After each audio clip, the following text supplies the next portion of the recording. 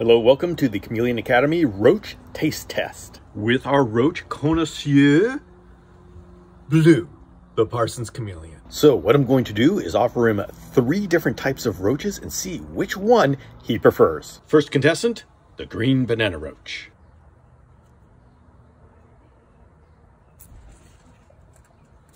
Next up is a dubia roach.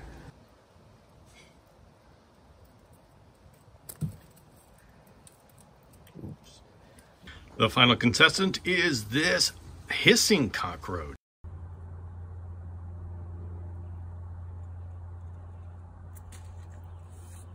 So we are three for three, and I think what our roach expert is trying to say is they're all good.